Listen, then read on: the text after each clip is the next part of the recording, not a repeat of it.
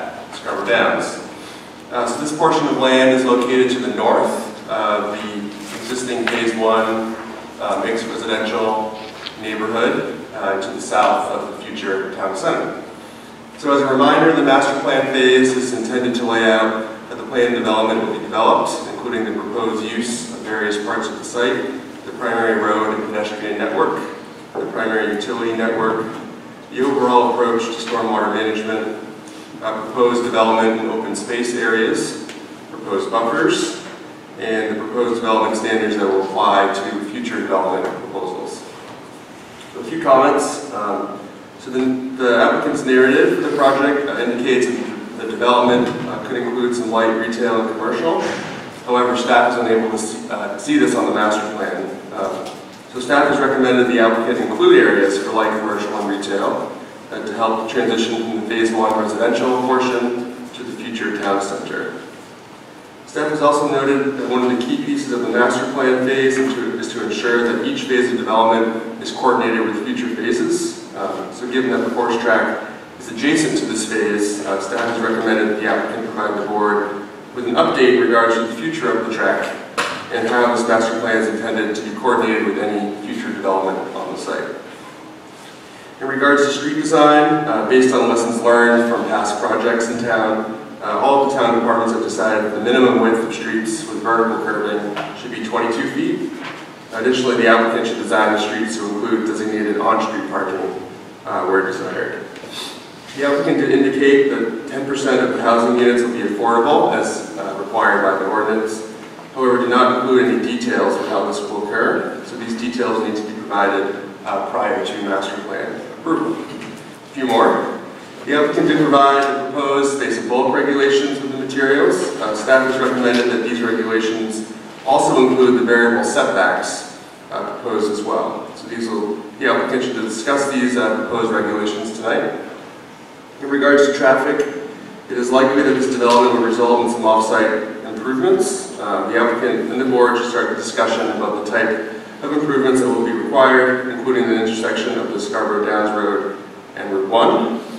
And finally, this development will require state approvals from DEP and DOT, so the applicant should provide the board um, with an update on the required permits and the anticipated timeline. I'll turn it back to you. Thank you, Janelle. Uh, Dan, would you like to go ahead and Sure. And I'm happy to sit here, I'd love to play you out of the play of the first. Sit here if you want to? Okay, thanks. So Dan Bacon here on behalf of the Downs, uh, can landscape architects, um, and Nick's gonna provide the majority of the presentation, uh, but I'll provide some high points to, to kind of kick things off, Rocky Risbara is here also on behalf of Crossroads Holdings. Um, So we're really excited to be uh, before the board and having this workshop, kind of dedicated to this next phase of the project. Um, And as Jamel introduced, it's really the area just north of Phase One, uh, what we're calling the Mill Village District is Phase One. So it's essentially between Phase One and the outer track of um, the the racetrack. So as you can see up there, there's both the the inner half-mile track and the outer mile track. And um, to kind of answer that initial question around the boundaries of the district and and the the future of the track, um, there is still a lease in place with the operators of the harness racing track. And so we were intentional about designing this next residential phase to not infringe on that lease area. Um, And that's um, specifically why this, this next residential area is south of that outer track. Um, But we- we've been really deliberate about the design of the infrastructure and the- the the blocks so that it can be logically extended um, onto the land where the outer track is today um, after decision- decisions are made around um, the outer track. So the outer track is really a practice track. It's not integral with their operations, but they, it's within their lease area and they'd like to maintain it for at least a few more years. So that's why we've deliberately shown um, this area to be outside of that, but developable uh, into that as time allows in the future. Um, In terms of overall permitting, a lot of the work that we've been doing the last uh, many months, in addition to this master plan uh, design work, is to work with uh, DEP and DOT on kind of the- the next round of permitting and establish what we're kind of calling umbrella permits that um, really pertain to the rest of the downs and coordinate really well with the town review process. So DEP has worked with us on a long-term permitting process that's very similar to the town's master planning process. Um, And we recently submitted that. And this enables um, us and, and the planning board and DEP to review really in a, in a concurrent way so that we're all looking at the same um, part of the project at the same time, et cetera. So um, that's been applied for, and within the next few weeks, we'll apply for the area uh, specifically for this town center residential district, and that'll be reviewed under the same timeline as the planning board.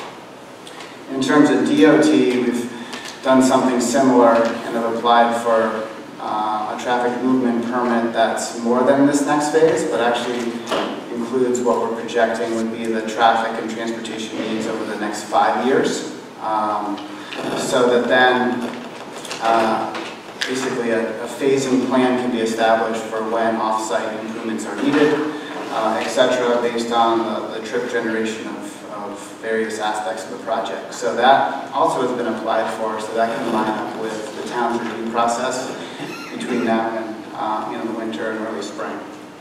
So that's really the status of the state permitting, and it's been applied for so that it's, it's pretty uh, concurrent with the, the planning board's review.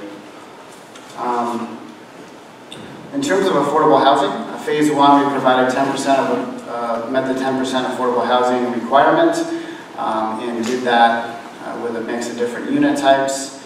And I think all but one have been sold or rented. Um, And I don't think any other development in town has been able to, to do any of that. So we're pretty proud of being able to deliver on um, the affordable housing requirement in phase one. For this phase and future phases, we've deliberately um, teamed with um, Developers Collaborative, who are moving forward with senior, affordable senior project um, in phase one. And there's two different buildings proposed, I think you reviewed it at your last planning board meeting. Um, One with 39 units and one with 38 units. So all 77 units are intended to be affordable and to meet the town's definition um, for affordable and is allowed for in the zoning. There is the ability to essentially credit affordable units towards um, other phases and other parts of the project. So that's the intention of, of uh, Crossroads, is to have that, those senior units uh, count towards uh, this next phase and um, presumably future phases, because it's going to be more than um, the 10% requirement than just this next phase. Um, In terms of the mix of uses, uh, we're working our best at uh, delivering a mixed-use project. Obviously, the Innovation District is moving forward. We'll be uh, coming forward over the course of the winter for a master plan for really the first town center component or commercial component with uh, sports complex and and, uh, other uses around it. Um, So, so far, that's been our focus in terms of delivering um, a mixed-use project. We'd love to see some light commercial in this next phase. Um, And we just don't know if it's sort of viable yet from a market standpoint. It's still going to be sort of at the end of a, a long, longer dead-end road for, for the next year or so. Um, So I think what the team has talked about is uh, showing an area in this next um, district where it's possible. And as it builds out, um, we'll see if there's some, some market demand for, you know, it could be some small office, it could be a coffee shop. Something that's um, integrating well with with the neighborhood. Um, So those are kind of some high-level uh, comments on, on some of the staff's comments and where we're at. Um, At this point, I was going to have Nick kind of walk through the look and feel of this next phase and uh, the design goals that we have, and and we can open up for your discussion. Yeah, so pretty excited about this next phase. Um, I want to start by kind of defining the, the limits of the site that we're looking at today. Um, I'm sure we're all familiar with this map. This is, uh, this is the overall 500 acre master plan um, site area. With the, um, you can see the the plan is rotated so that north is actually to the left here. So we're looking at Route 1 to the right, Haigis Parkway down here to the plan south or the bottom of the page, um, Payne Road up to the north on the left-hand side. Um, The, uh, so, so this plan is kind of the existing conditions, um, what's approved or built, approved or built today. So you can see Phase 1, which is nearing completion here. And then all the way to the north, you see the 90-acre light industrial in- innovation district. Um, And then the, uh, the tan area is representing generally upland and developable area. You can see the existing grandstand location in the center of the site. And the dash line represents the existing Downs Road alignment as it exists today. Um, The green is, is wetland area. And then, so the, so the site is, as Dan mentioned, uh, directly north of Phase One. There's some, some wetland area that we're planning on preserving between Phase One and this phase, phase um, to our south on the site. And then to the north, the site is generally defined by the outer track. Then to the west, we have Willowdale Brook and the conservation easement there. And then, of course, the uh, property boundary to the east, where we're showing a uh, 100-foot buffer. Sorry, slide's a little bit out of order. Um, So this plan should show, this is kind of the overall vision, long-term master plan of the site. Um, And the takeaway here is, you can see Phase One, again, down to the south, to the North Innovation District.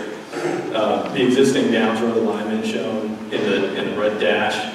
Um, You can see that we're, we're proposing to realign that road um, for, I think this is items that we, we identified in the original um, for traffic calming reasons, but also to begin to set up a framework um, that's very walkable and compact. Um, And it's essentially a, um, a a grid, a, um, a a grid framework. So you can see by sliding the Downs Road to the west uh, towards the the Willowdale Conservation Easement, um, essentially what we're doing with that road is we're turning into a boulevard condition where um, you're, you're creating an edge on that, that open space which is publicly accessible, it becomes a long linear park. Uh, The alternative, more of a conventional alternative to that might be lotting that road on both sides and double, double loading the road.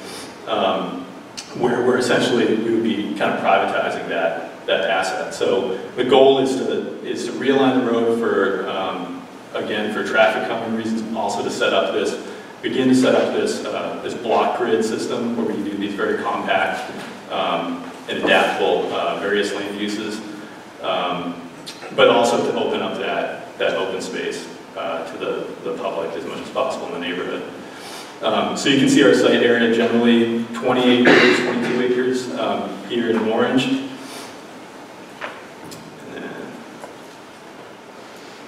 Going to get into, so this is the, the corner condition. I might actually stand up and present to the boards a little bit, if that's okay.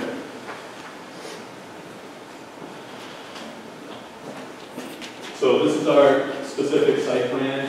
Um, The concept is, see, we're- sliding the road to the west. Here's the Willowdale Conservation Easement. Uh, We're maintaining roughly 50, 75 feet from, from uh, Willowdale for grading and for open space purposes. Yes, sir. We're okay. Oh, sure. Yeah, sorry, Nick, we're gonna ask you to. Yes, speak. I'm I'm up here. Start Can you hear me?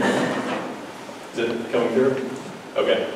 Um, So this is our specific 20-acre site plan. You can see Downs Road being slid to the west along the the Willowdale Conservation Easement. Um, We're considering some areas for stormwater management. And then generally, the land use plan is to create this compact walkable street grid. They're they're roughly 260 by 500 foot um, blocks, neighborhood blocks. Um, And uh, density or land use is generally graduating in density from, from west to east. Um, So that we'll have a little bit more kind of multifamily um, or attached, single-family, compact, um, denser uses on this initial block, which we're starting to call Block A. And then working into the site to the east, we'll have more detached, single-family, maybe some attached, single-family, which is like a a duplex or a townhouse um, type of product um, where, where these units might be more um, of a, of a multi-unit, um, but also mixing in some single-family. Um, This is where, as as Dan mentioned, um, I think the, the next logical place might be to consider a uh, kind of a neighborhood retailer or commercial or office user, sorry, a fly. Um, so uh, it, it makes a lot of sense as you're leading into um, the town center along Downs Road to start beginning to think about that mixed-use concept as you work your way in.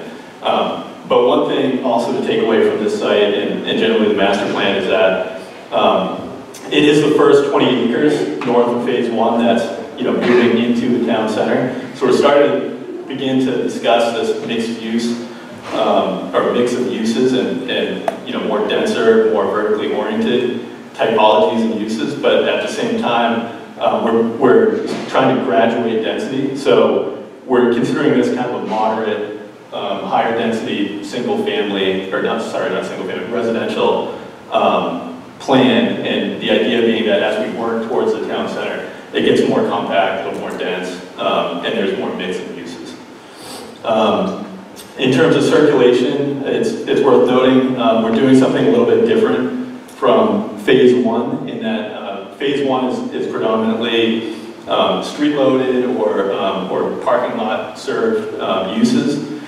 This, we're trying to, um, to minimize the impact of vehicles, so we're considering a little bit more of a, uh, northern New England kind of progressive idea with, uh, alley or lane loading, similar to uh, Eastern Village in some ways, um, where you can actually face the, the garage onto the back or the interior of the block, and then you're, it, it allows for a condition on the street where there aren't a number of curb cuts or parking lots opening to the street. So that's a high priority for us in um, preserve, preserving the walkability and bike ped aspect. We have these, these long uninterrupted uh, segments of of sidewalk and, and trail connections and uh, very walkable streets and blocks. So, um,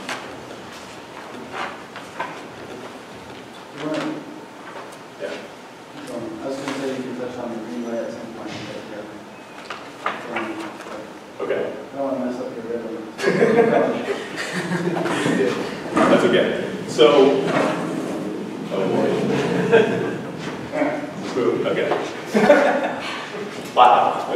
Um, so this corner, I'm going to step away here, kind of point, point to the master plan. So this corner is essentially standing here on the plan, looking in this way.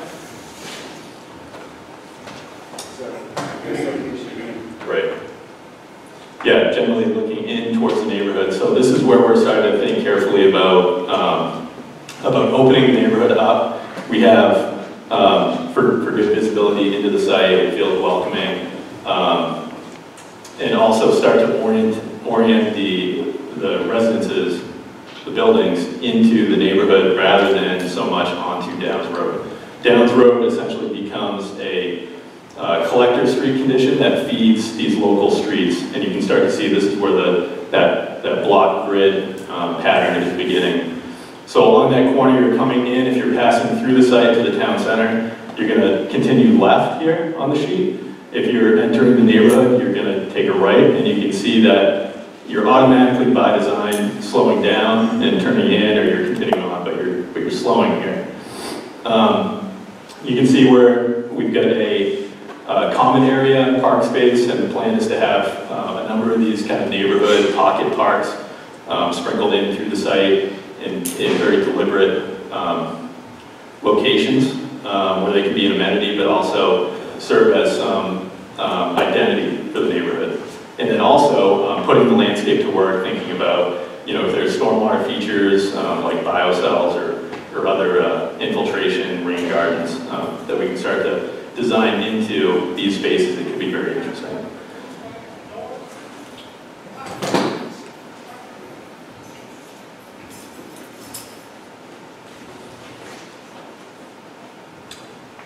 So this corner, this is actually an inside corner condition along Downs Road. So as we're coming through, we were just looking at this corner, looking into the neighborhood. Now we're on this reverse corner and looking in. And this is a, a pocket neighborhood concept. So the idea would be these are smaller, um, single-family homes that front onto a common space rather than a street or a parking lot, of course.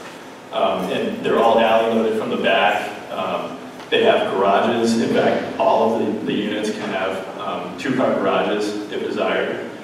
Um, but you can see we're, we're starting to, the architecture is still a lot of work in progress, but um, you can see that the idea is to have these living spaces pulled right up to the front of the buildings, whether it's on the street or it's on the common.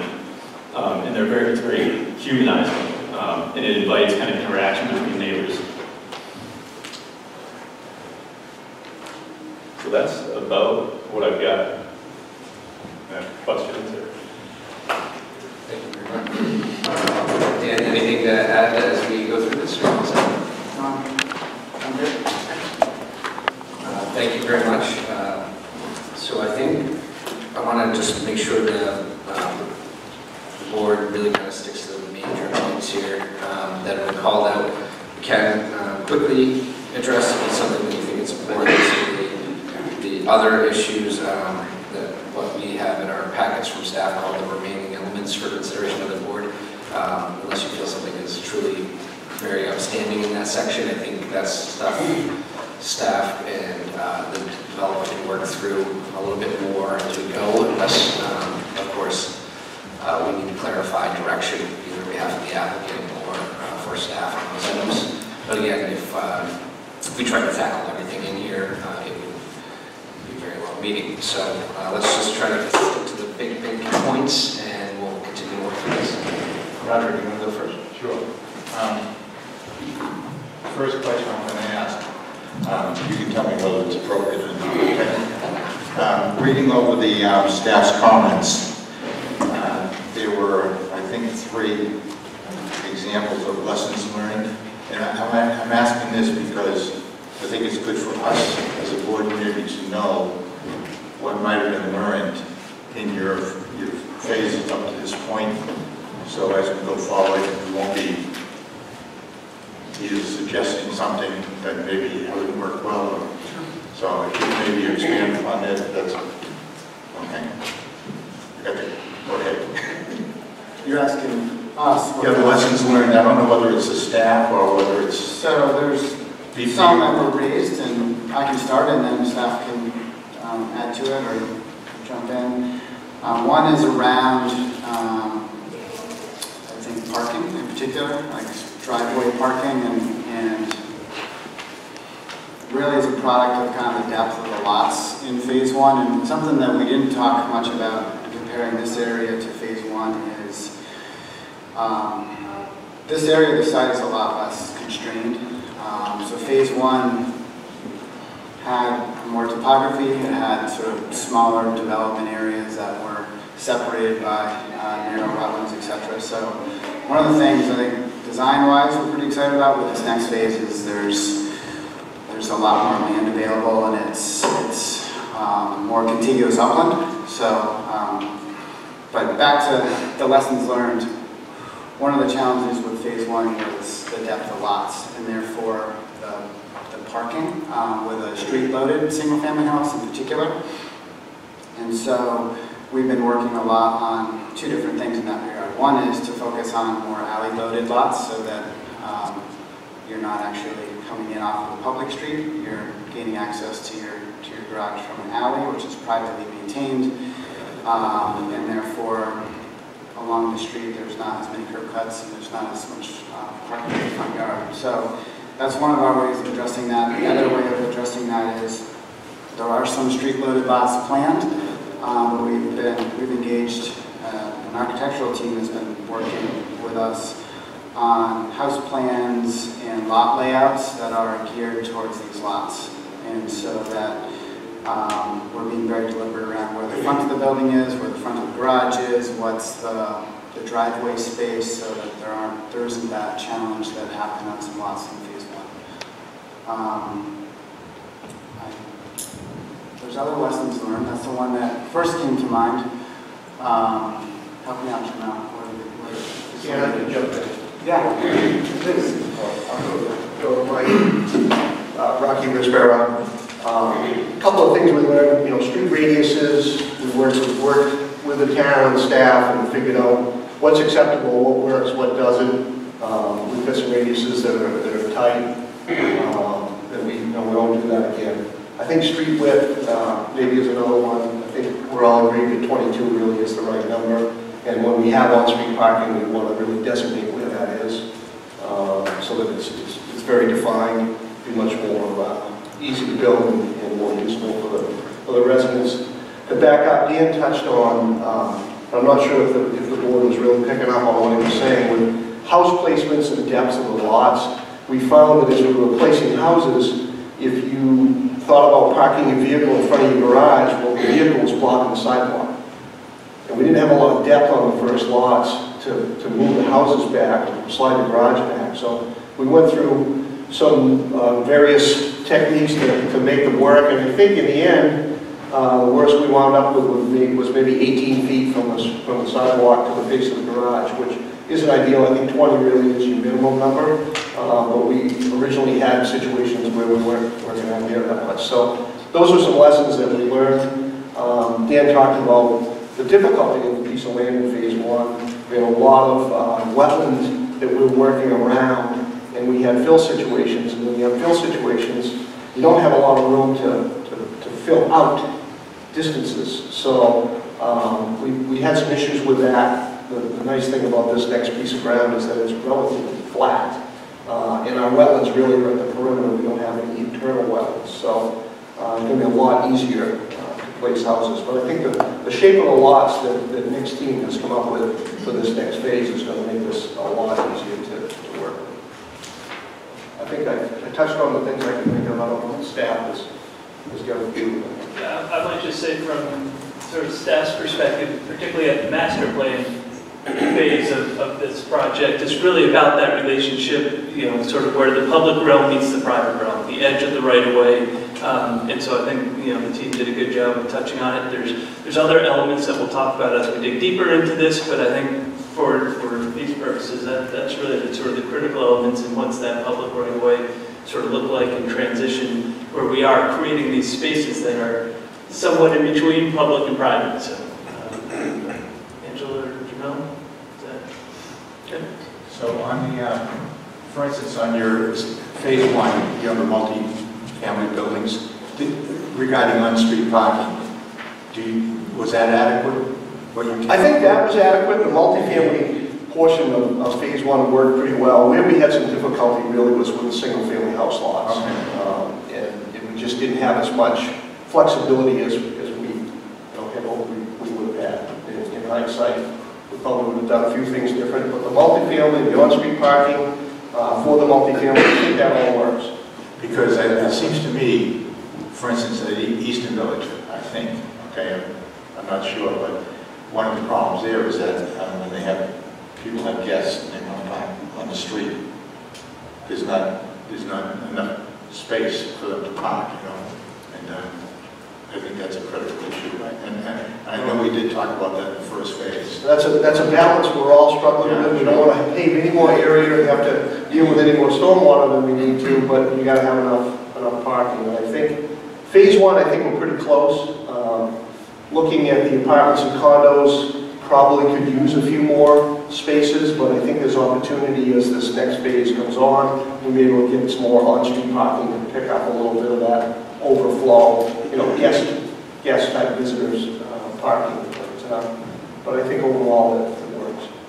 Um, The other thing I think we're going to be wrestling with a little bit is the, um, the uh, intrusions into the, uh, out, the large track. And you mentioned that that you have a lease arrangement for the track.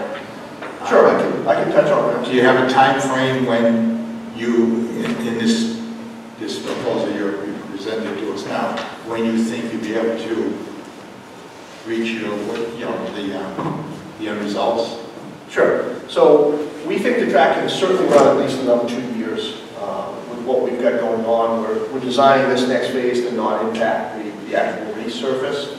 Uh, And in fact, it doesn't even impact the, the practice track, although they could live without the practice track and and still, uh, and still run their operation. So we think a couple more years, we're working on trying to come up with a smooth transition for harness racing and figure out, you know, we know that this site in the long term isn't the place for it. The land's going to be too valuable, and will need to be developed, and we've got great plans uh, coming at you for that. But uh, in the meantime, it- they can race, they need a place to race, it's got a great track, a great race surface, and uh, we want to continue with that for at least the next couple of years.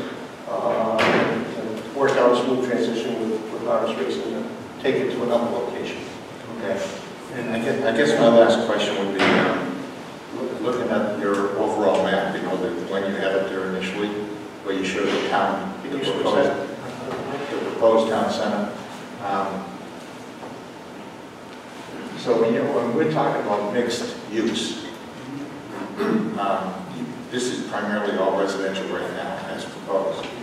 And I, I'm assuming um, the area from the uh, innovation area down to the town center is going to be residential too. Is that, isn't that what was in your plans, your future plans? It it could, you know, by zone, it's allowed, it could be a lot of different things. We kind of have biotech, medical, that idea in mind for the area immediately to the right of the innovation district. We think that that will creep in, in that direction. Um, There may be some, uh, on the backside, if you will, where we abut, uh, where Mark O'Leary's project is going to be and whatnot, and probably could be some residential back there, um, up along the that line, but we see more biotech, medical, and then fading into mixed use in the of town. The reason I asked the question is, is is your core going to be primarily commercial?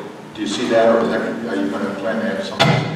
I, I think that's more mixed use. That, that should have some residential, second, third floor, fourth floor residential type use. Okay. A waste. Thank you, Roger. Uh, Rachel? One I've always dreamed of, two of them here. Um, I, as I'm looking at these plans, uh, it- do any notion of the number of units that you're gonna put in there? I know on one of the plans you provided a, a a possible arrangement of housing. What, what, what's the volume that we're talking about? Between 200 and 230, in that range. Okay. Uh, And that's the single, the duplex, or townhouses, multiplex? Yeah, we've looked at, I think, four to six different housing types. So two types of single family, um, alley loaded and um, street loaded. Um, We've looked at what we're calling cottage courts, which um, are more kind of one to one and a half story living. They could be single family, they could be duplexes, similar to the first phase where there's those single story duplexes. Um, Nick showed an image of so these pocket uh, neighborhoods that could be single family as well, that are smaller in units, um, anywhere from 900 to 1,200 square feet in that, in that range. Um, So I think we're up to four. And then we've been considering townhouse type units, um, and then multifamily uh, type units. And um, phase one is a, a pretty good representation of a multi-generational neighborhood. Um, And the residents, the new residents really, um, though they haven't lived there long, are uh, really liking the setting where it's not just a single-family neighborhood, it's just, it's not just a, a retirement neighborhood. So it seems quite successful uh, based on sales and based on um, quality of life so far for folks. So we're looking to replicate that in this next phase um, and have a lot of variety, not, not stick to one or two housing types, um, so that it's you know, multi-generational, dynamic neighborhood. Presumably than one. Yeah. One of the things that is kind of unique about this, this design that, that uh, Nick's team has come up with is those areas that you see in between the streets could be mixed and matched. So those areas are all similar in size, and you could do different types of housing on those, so it would be able to, you know, meet market demand. And if it seems like one style is, is, you know, more attractive or or more desired, you could do more of those and less of something else a bunch of different styles, but we've also got the ability to, to do different things in, in different areas. Right, so, So you can do a much better job than I can with that. that's pretty good. It's, uh, so this block, uh, block depths are all the same. We've been working on house plans and lot layouts where these could be townhouses, or they could be single families, and we're presenting one subdivision plan to the planning board. Uh, Um, We wanted to design the road system and the infrastructure once, um, and and get that right, but then allow the various housing types to, to, to be based on, um, based on sales, based on setting, based on um, what people are interested in. So um, if, you know, townhouses are going well, they can do another block of townhouses and not have to change the, the road layout. And it could be alley road to townhouses or alley road to single family, for instance. Um, So it's been pretty deliberate in that regard to be flexible and nimble to, to create this neighborhood. Right, you, you, you talked about neighborhoods, how, it's, talk a little bit more about that, when you talk about neighborhoods, you're going to somehow or other distinguish one neighborhood from the other by uh, some sort of a division, let's say a park, or by a type of architecture, or, 'cause it sounds as though you're merging a lot of architecture into, one area, but you also talk about them being specific neighborhoods, and presumably, as you start to phase in your building, you, you would be worth looking at neighborhood by neighborhood. I think there's opportunity to use, I think I touched on it really briefly, but I think there's opportunity to utilize the public spaces, the parks, whether they're smaller parks or larger, um, to create a sense of identity for each of these neighborhoods. And what I would envision is that there's small neighborhood or even block scale public spaces that are discoverable in each of these blocks that provide a sense of place. So when you're, when you're there, it's kind of unique to that block or that portion of the neighborhood. And that's, that's kind of how we, um, you know, rather than put up a big, a big sign that says this is Smith Farm, right? That's my question. of. Yeah, you use, use the actual plan and the neighborhood pattern and the architecture and the built environment to do your kind of wayfinding and signage and your identity, so. Are, are you thinking about, because I think this, the, the open space and the placemaking is extremely important, given the number of houses and number of units that you're looking to put in there. Uh, as you talk about neighborhoods and, and distinctions in those neighborhoods and these parks, are you talking about having each park have some sort of unique feature? Could be. And-. Okay, could you expand on that? Well, we have a number of ideas, but, um, I mean, I think there's, there's a number of narratives that we can use, and one is stormwater, managing stormwater. Um, So we have, you know, a, a different type of stormwater feature in a different park, maybe that's the purpose of that particular park, and maybe there's some interpretive element to it, maybe there's some signage that talks about stormwater and the, and the water cycle, that could be one.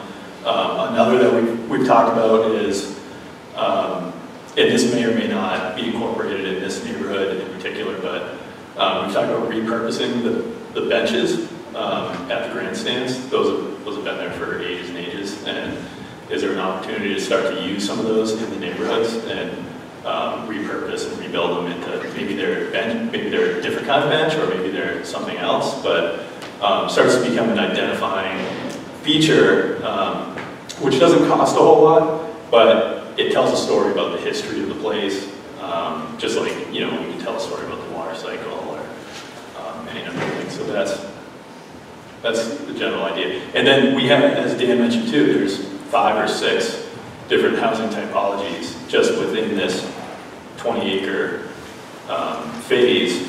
So we're working with a good architect. That's another part of it. You know, if you, if, if we have kind of sub-phases within the overall phase where the architecture does something a little bit different than the next block over, um, and that can be coordinated with the site and the landscape and whatever features we. Have you, have you considered how you could use the trees and the plantings to distinguish each neighborhood? Oh, Yeah, of course, yeah, and I think it's, I think it'll come down to, um, obviously, you know, you consider soils, drainage, um, but also the, the purpose of the planting, is it creating a separation from the street, or is it um, creating some buffering and separation between neighbors, or, or from common space to the neighbor?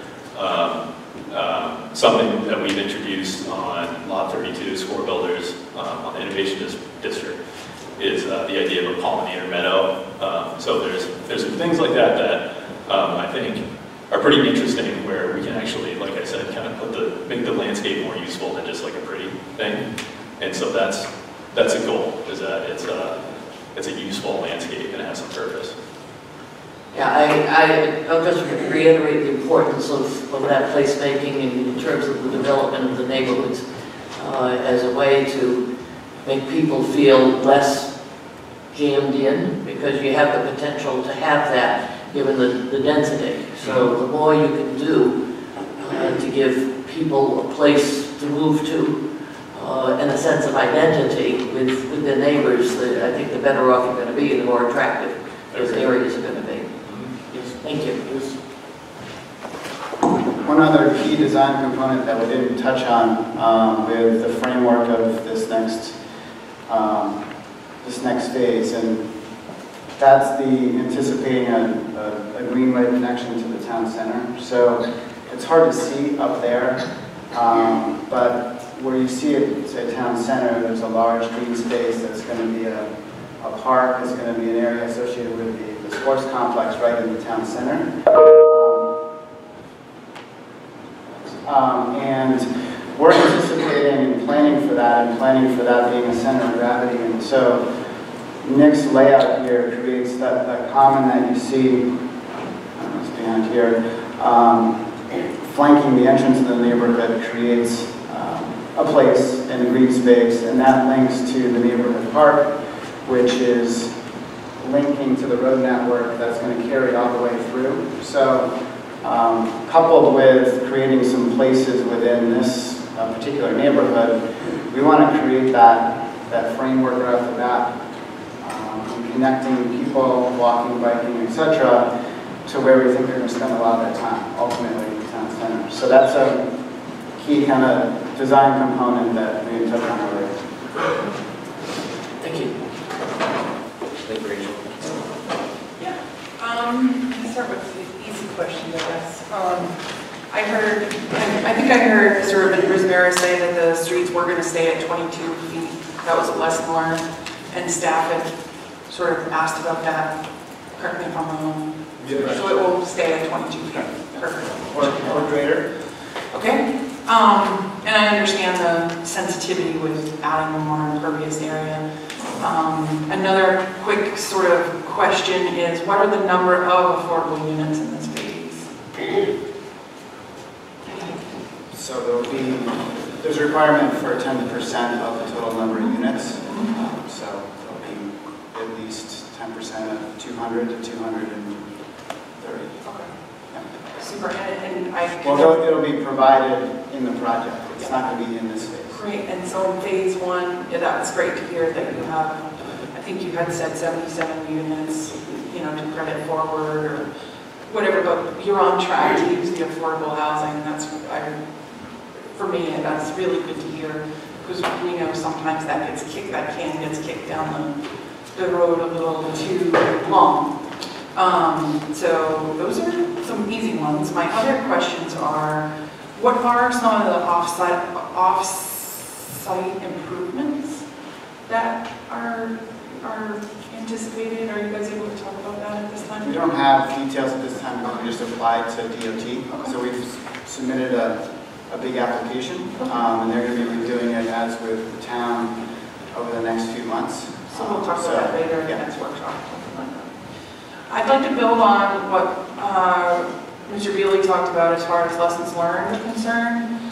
Um, I think in the staff comments, they, they mentioned two places, both Grist Mill and Eastern Village, and maybe one other place. Um,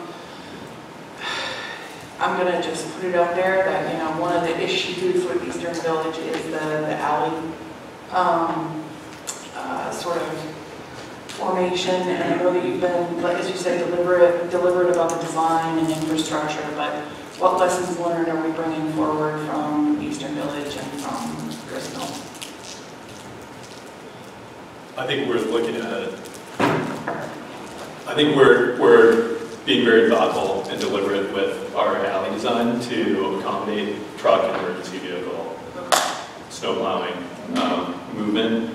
Um, So it's, it's actually, it's very deliberate. We're also providing, I think, a little bit wider um, paved area than Eastern Village. So we're relaxing our, our dimensional standards a little bit, I think, more so than, than uh, Eastern Village. And I think we have a more um, truck emergency accommodating site while still accomplishing a lot of their like urbanist objectives. So, is, I mean, Eastern Village, and I'm sure this one will be very beautiful too, I mean, it does bring a wonderful aesthetic, um, but it's just nice to know that we're taking those lessons learned and moving forward, so.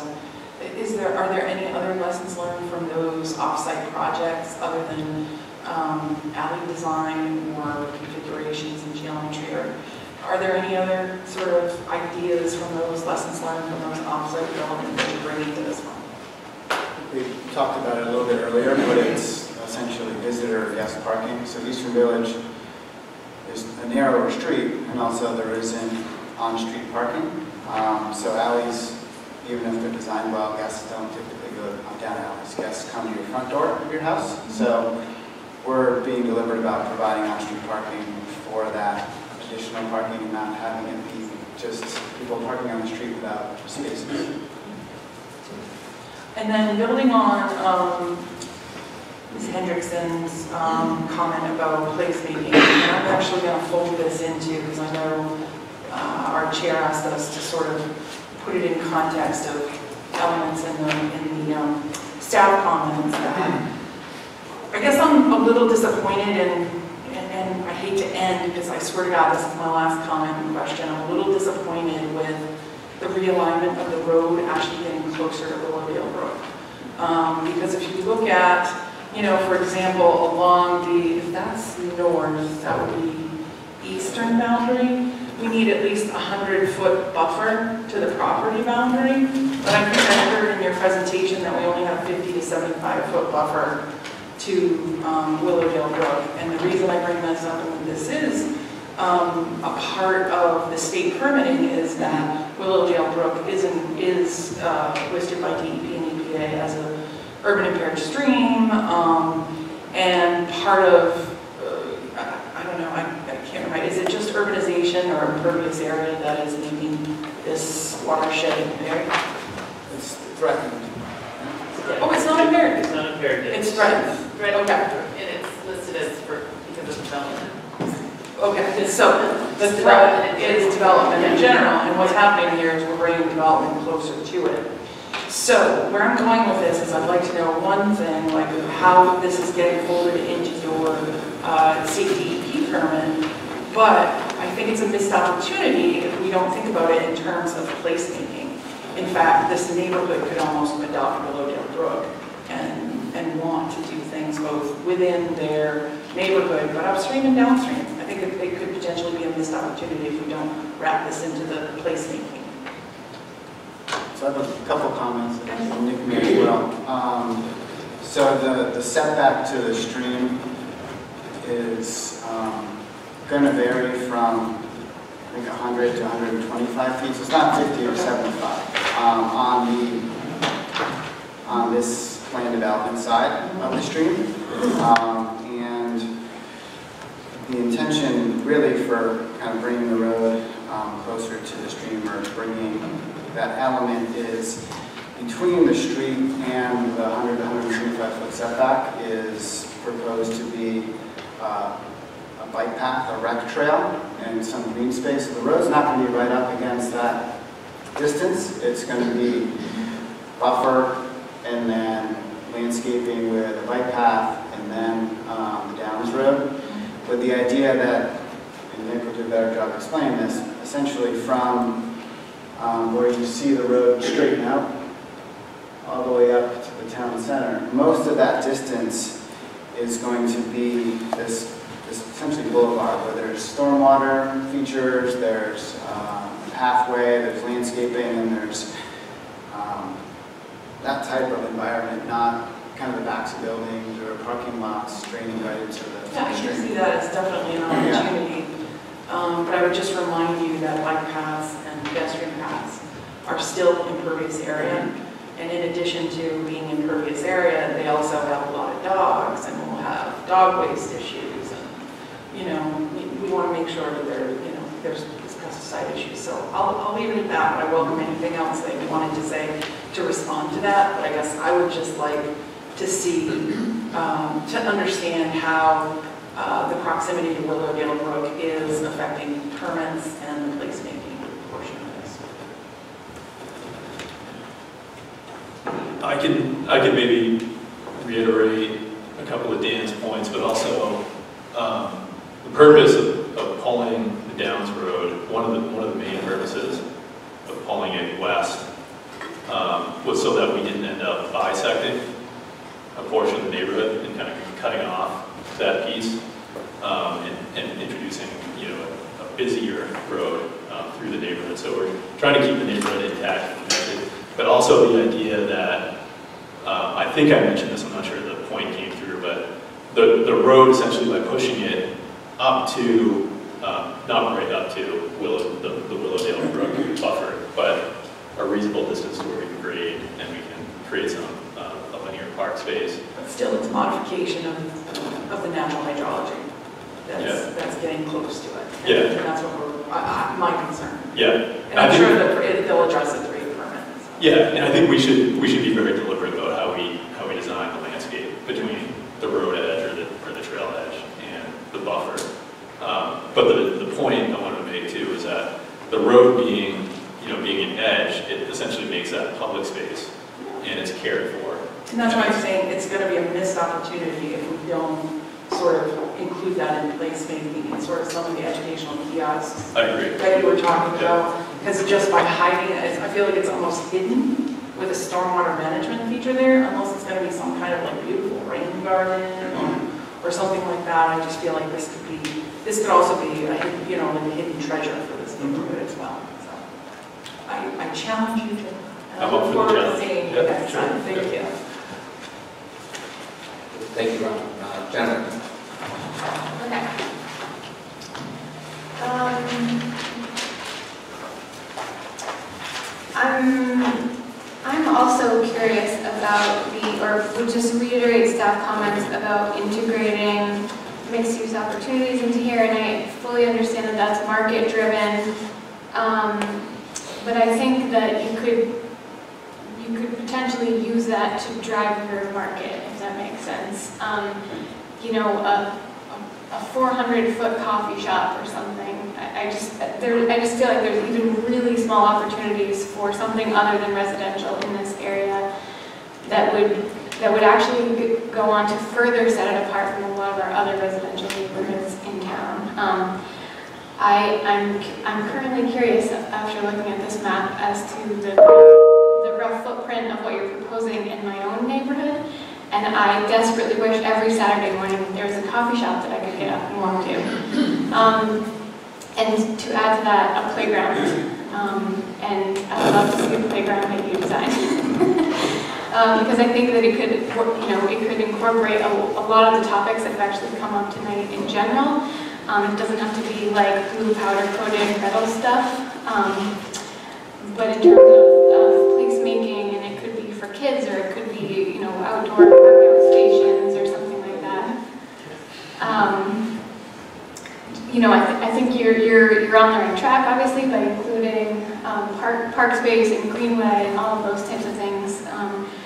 But that would definitely be something I would be jealous about this um, and just, you know, just to, to further on that and the, um, the point that you made earlier about incorporating um, affordable housing units, you know, just to get personal for a second, my mom, who is uh, self-employed, lives in um, central Maine, and uh, owns her own business. Um, she's a seamstress, so she has, a very small uh, studio space, but constantly has customers coming in and out.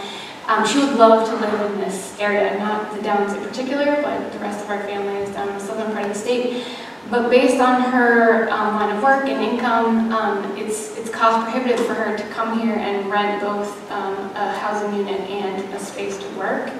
And so, you know, maybe it's a, maybe it's um, again a, a coffee shop owner someone who maybe lives upstairs from their space down below, or some other sort of um, you know retail like high commercial kind of pop in pop out type of use. I'm not really sure what what that looks like, but it does seem like that could be another opportunity for integrating even different both different types of residential and um, commercial component and community um, placemaking, all those things. Um, I had a question about what you, so staff sort of alluded uh, to this, but I'm just a little bit curious about how ongoing track operations would integrate with this neighborhood as fully built out um, until the point at which the track is not operating. So like, for example, the, um, Actually, it's interesting, this graphic does show your road development fully extending all the way to the east, but there was one other graphic, that included this one actually, sorry. Yeah, so, you know, for those, for the properties that are intended to be right up against the back of what the practice track is now, I'm just curious, what, what would those, what would those people reasonably expect um, to have in their backyard if the track was still operating at the same? So, we're gonna have to figure that out before we get there. Um, We know that the track does not need the practice track to operate. Uh, It's not our intention to actually impact that in the initial phases of this this piece of the project, but um, I think we can coexist for quite some time. Again, I think it's a couple of years. Uh, It's gonna take us a couple of years to get this, get this built out. Uh, But I think that we're, we're sensitive to what their needs are and then what our, our buyers and and residents' needs are. And uh, we're gonna, we're gonna figure that out. We'll probably have a little more information for you when we- get back. Sure, great. Um, Question about the alleyways. Uh, Someone mentioned that they would be privately maintained, and this is maybe more like too detailed for this point, but, or at this stage in the game, but I'm curious if that's intended to be like a, uh, like a homeowners association situation, or something kind of larger, or smaller, and the reason I'm asking is because um, if those are designed to be relied heavily upon for primary access in some cases to different residences. I was just curious about sort of continuity, you know, between from one to another or along an entire, an entire stretch of alley. So we'd anticipate those are um, part of the homeowner association, privately plowed um, and maintained, uh, much like a condo development would be in phase one and and many others. Um, And then it would be a large, it would be a larger association where multiple alleys would be uh, maintained by the same contractor. Um, So there's pretty good kind of models out there for that. Um, lastly, I guess just to also reiterate the staff's comments about providing designated on-street parking, especially in the, in the case of otherwise um, narrow roads, I, I do think that's a good idea, and I wonder if potentially, you know, thought could be given, so so I can appreciate, you know, wanting to only um, mobilize for your street infrastructure at one time and not to really revisit that.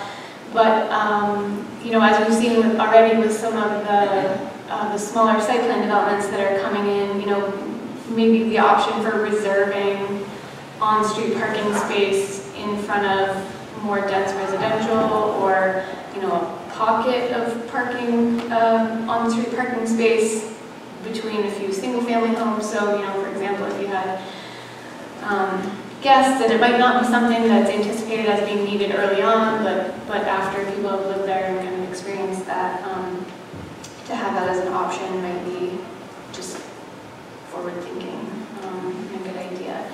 And then my last question um, is a little bit past the line in the, the comment that Nick asked us to stick to, but um, is, has a question to do with uh, the garage parking topic actually that came up earlier, sort of the lessons learned from your phase one in terms of having um, parking space in front of a garage, and that uh, the point was made that all of these units have the potential, I know, but units have the potential of, of having um, two-car garages. And so I was just wondering if there's any incentive being thought about um, for non-two-car garages or the no-car garage, or no garage, I guess, would be the case. Um, Thought being, this just reduces the demand on a whole lot of, not just the infrastructure and the immediate frontage of this property, but, you know, when you start adding all of this up, um, to have some sort of incentive, and I, and I don't know what that is, if it's, uh, it's cost, I mean, there's certainly a, a monetary component to not, not developing that for someone, someone not purchasing a garage.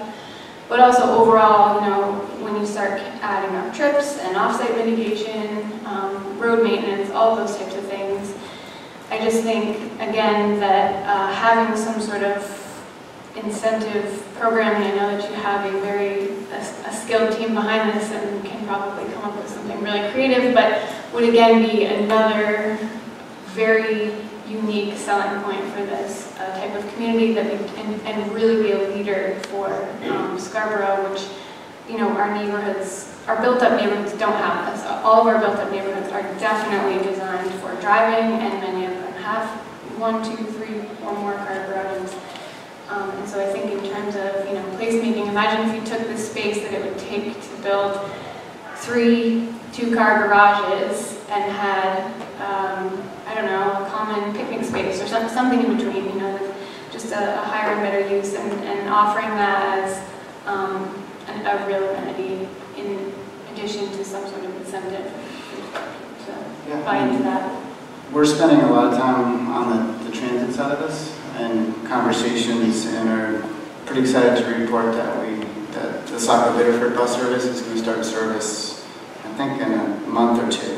Um, and so we're, we're kind of dipping our toe into that arena um, with the first phase. In fact, there was a, a block party um, for phase one a few nights ago where there's food trucks and um, some fun games, and we got the, uh, the train, the bus service to come and, part of that, so people could talk to them, to learn about bus routes, to be exposed to the bus, and learn that, hey, it's a new bus, it's pretty comfortable, and let them think about riding on that. So we're trying to take measures like that that are smaller steps right now, but definitely lead to um, families and future buyers to be interested in the neighborhood if they are kind of have one car or no car. Um, so I, I, I kind of think it's an incremental thing. I appreciate the, the goals and um, we also, as part of our traffic permitting process too, we think that's a pretty big component where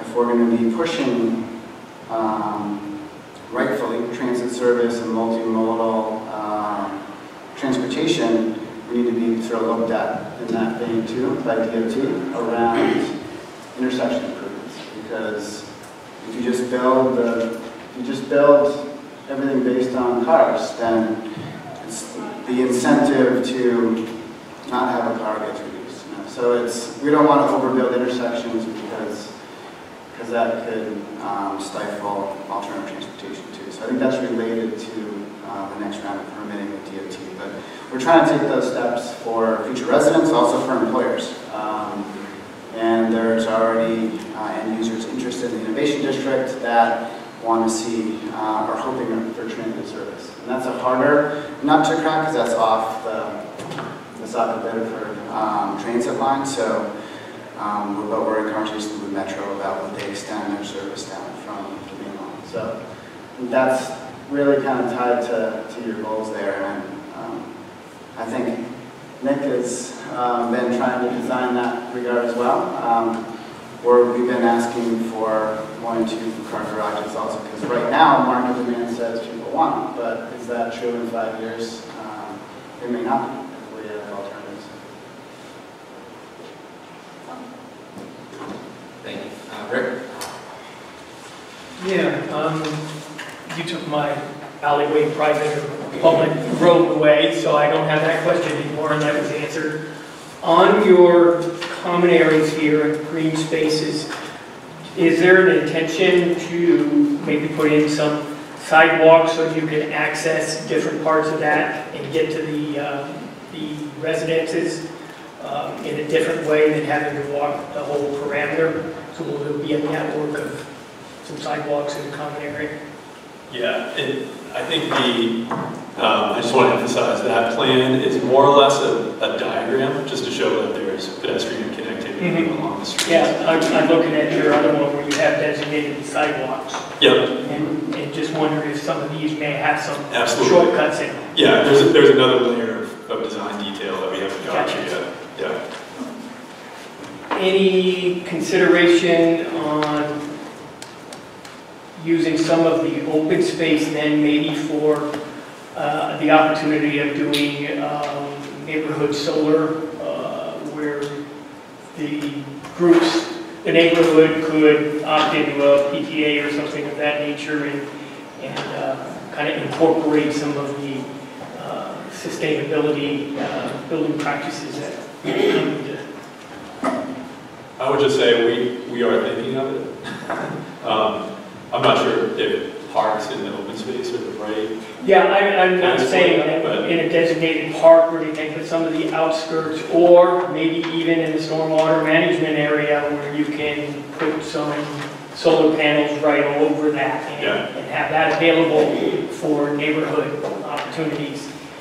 And in along that line, and maybe an incentive for having a house that doesn't have a garage, uh, they might have uh, solar on their house at a better cost than it would have been if you were going out there in the marketplace. It could be used as an incentive, but at a minimum, maybe we should consider where it makes sense on the placement of the roof lines of, of these neighborhoods, that they be kind of interconnected or wired or given some thought about interconnection with some solar. Uh, Which brings me to my question on the, the power grid here. Is it going to be underground? It's gonna, the neighborhoods are all gonna be underground. There's gonna be overhead along the Downs Road that's.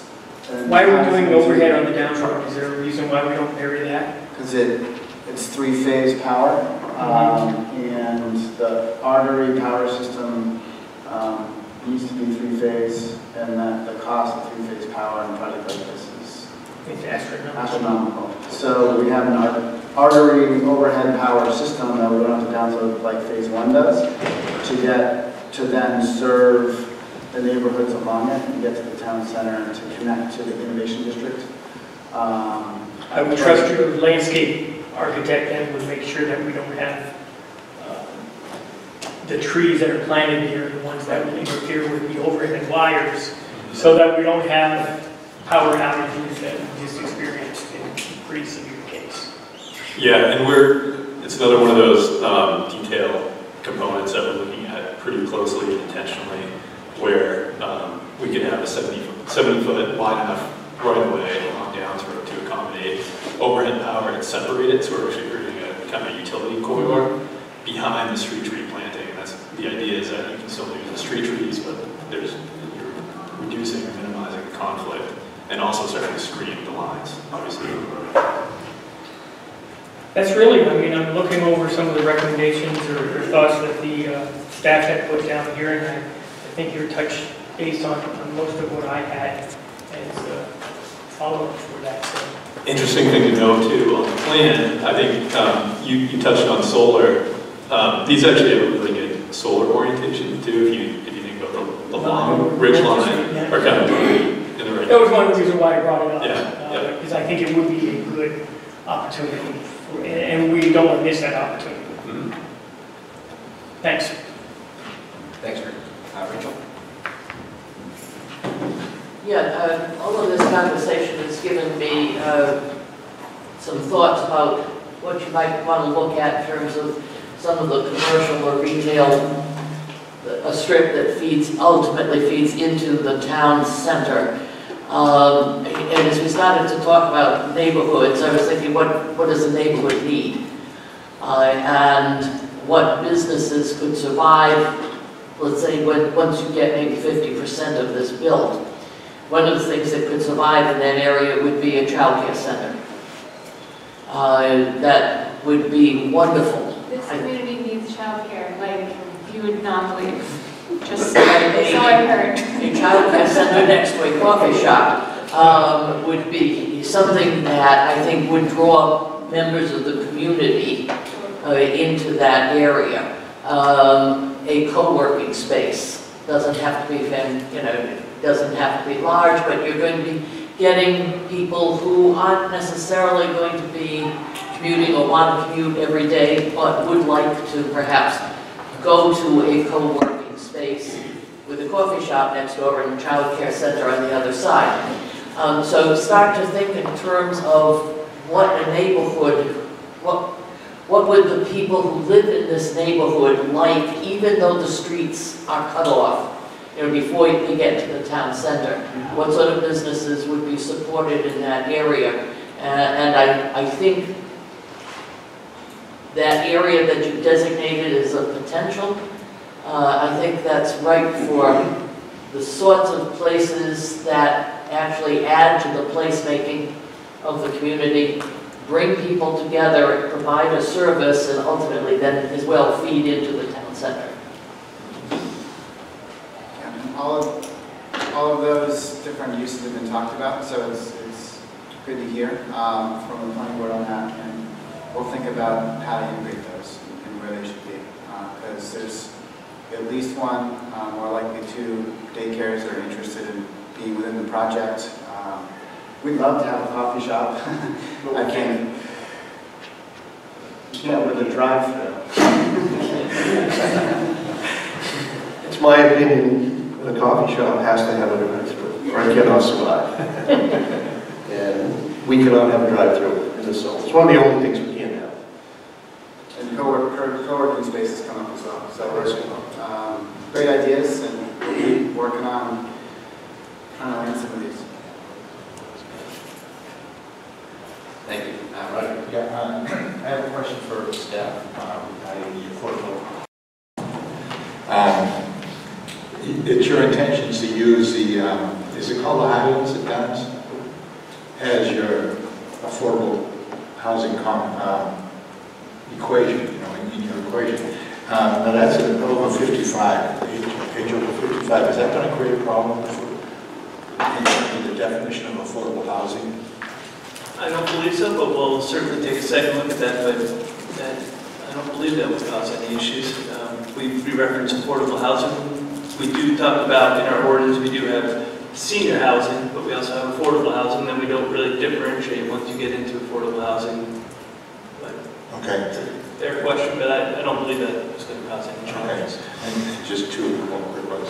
On the, uh, on the dead-end streets going into where the large track is, um, as I understand it, what you're saying, Rocky, is that by the time you get to that portion, the track should be pretty much resolved.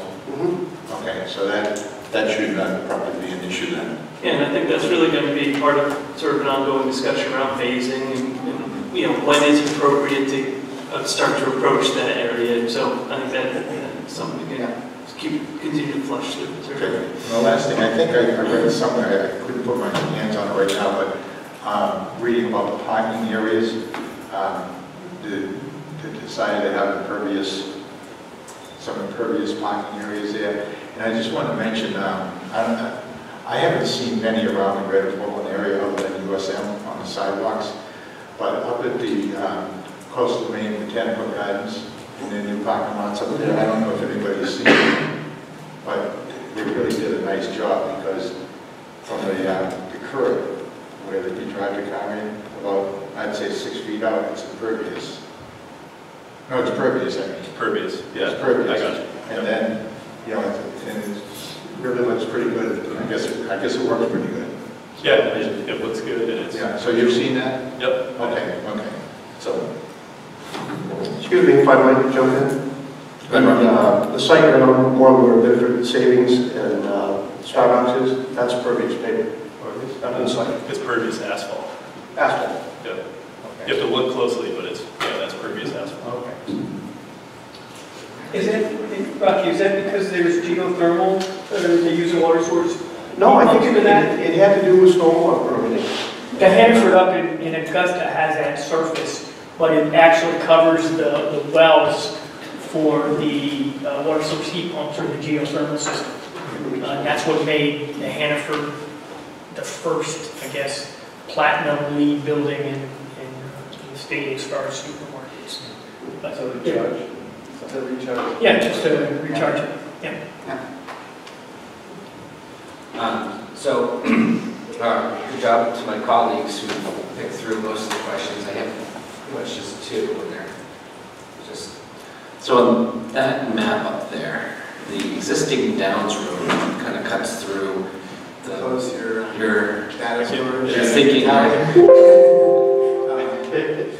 cannot figure out. can you move it out of the way? Use the paper. We can use the paper. This one. That one, this one, Nick, or the other? This one? So, yeah, so you see the red dotted existing Scarborough Downs line? Yep. Come right there. How come that section won't re- remain connected? Am I missing not, am I not reading, reading the master plan correctly? Yes. Is there any reason why you wouldn't leave an extra connecting road there? Yes. Um, Uh, I'm satisfied.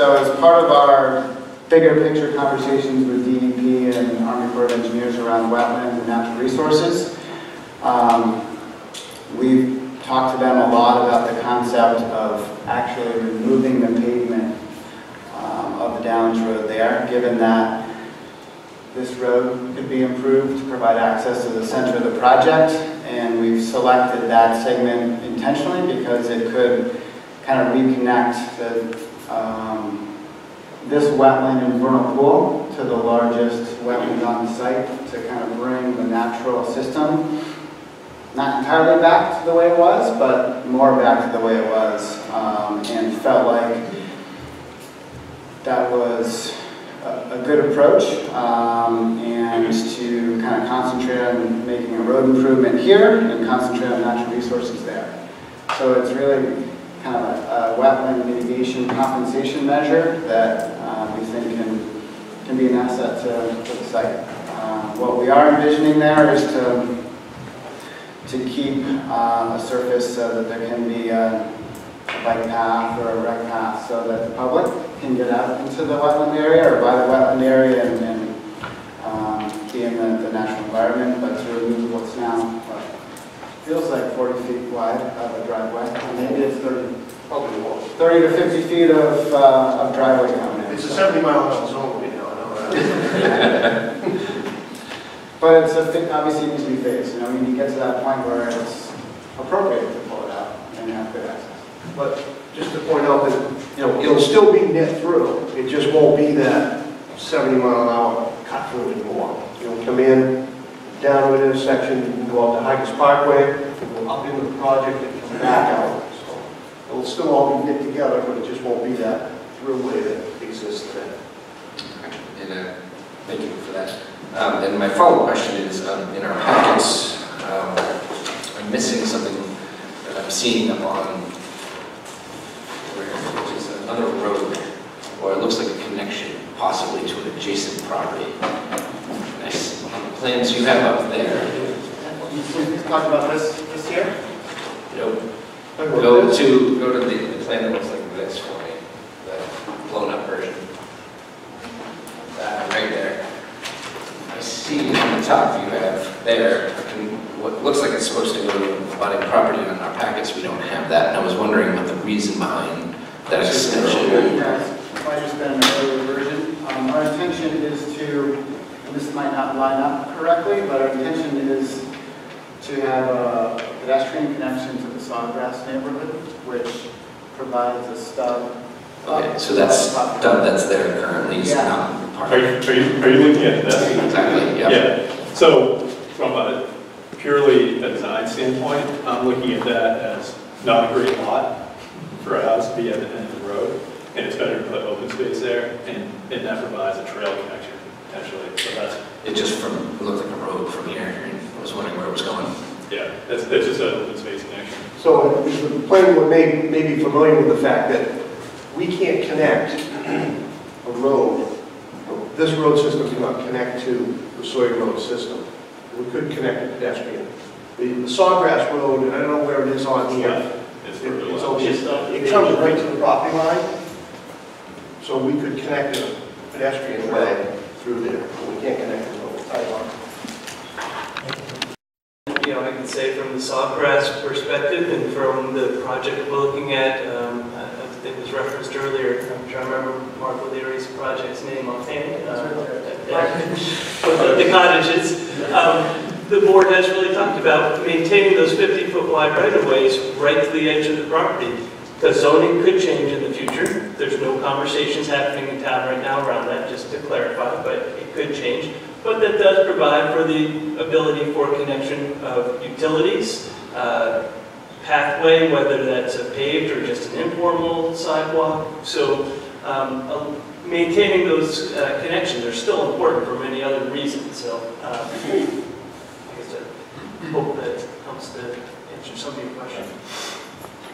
All right, and then, uh, I think that was, that was the- pretty much the bulk of my questions that hadn't been answered by my colleagues. Um, For staff, is there anything that you wish we had kind of brought up or hashed out a little bit further um, before we walk away from tonight's workshop?